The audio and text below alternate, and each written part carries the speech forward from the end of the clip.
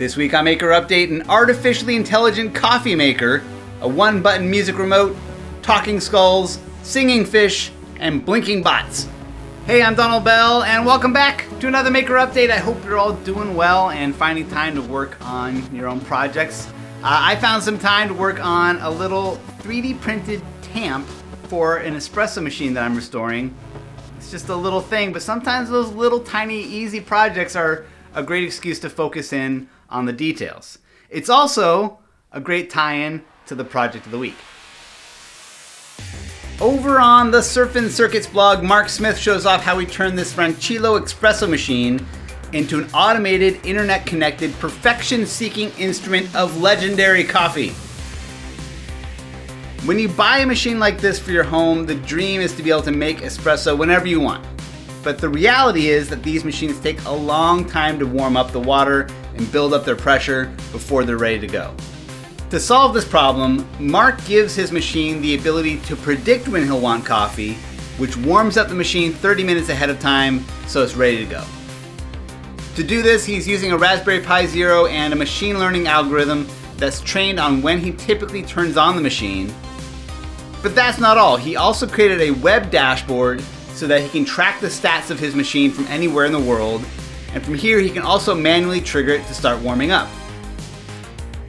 He's added a PID type sensor in the boiler so that he can dial in the brew temperature within 1 degree accuracy.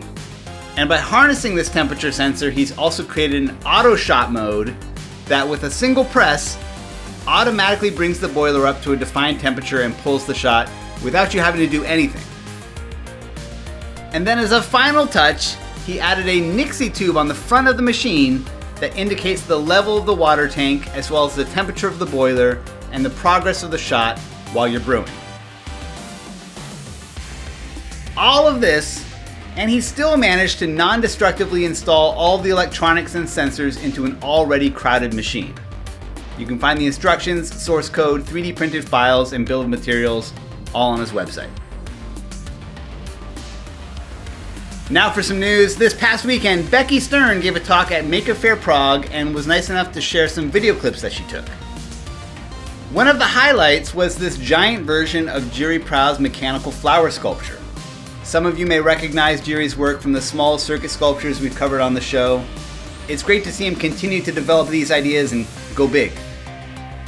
Becky also showed some footage of a table clock called the XXOX it uses these retro electromechanical segment displays that have these awesome split flap sounds. You also get 20 alarm sounds, it's USB rechargeable, and it's smart enough not to make all those split flap click sounds while you're trying to sleep. Honestly, I'm just so happy to see a big maker faire like this happening again. It gives me hope. Hackaday and DigiKey have teamed up for a Halloween Hackfest contest and if you have a Halloween project or a costume that uses electronics, you can enter to win $150 in DigiKey credit. That amount is doubled if your project happens to use an Adafruit board. You can find more details using the link in the description, and the contest closes on Monday, October 11th. In hardware news, last week, vacuum form manufacturer Mayku announced a new, higher resolution machine called the Multiplier. The extra detail is possible because they've added pressurized air into the chamber, which helps to push the vacuum formed material into all the nooks and crannies of your form. Combined with resin casting, you can get something comparable to injection molding but without all the complexity and expense of machining out a mold.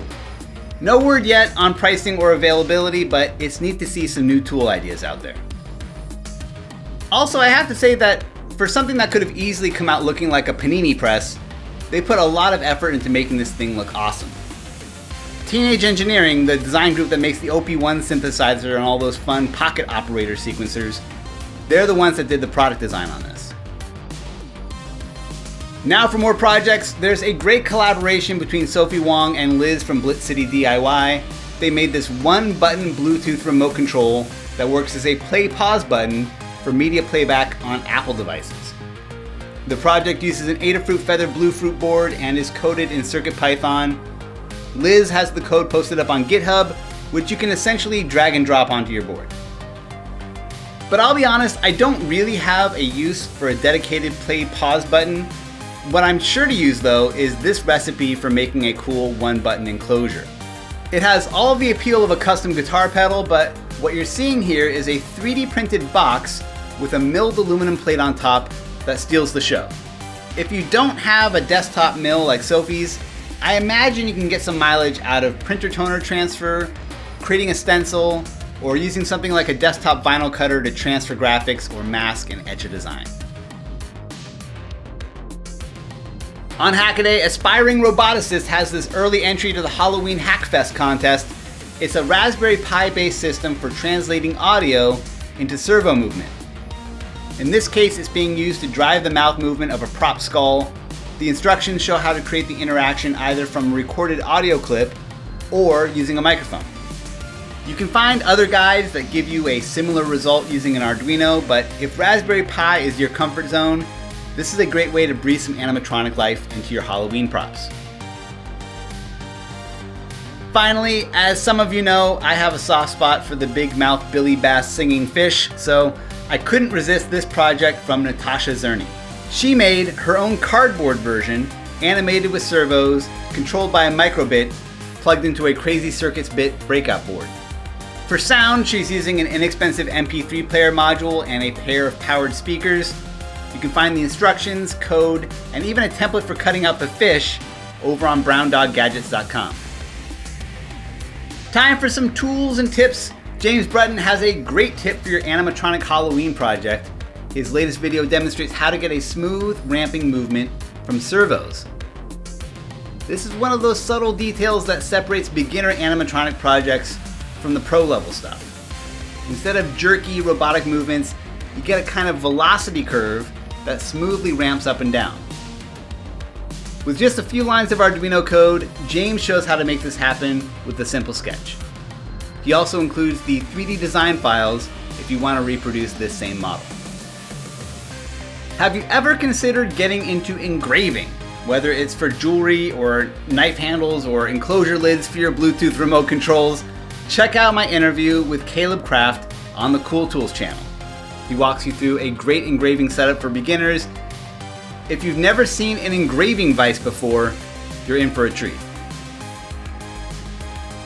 For this week's DigiKey Spotlight, check out this oldie but goodie on wire splicing techniques. Not just splicing, but also how to tap one wire into an existing line.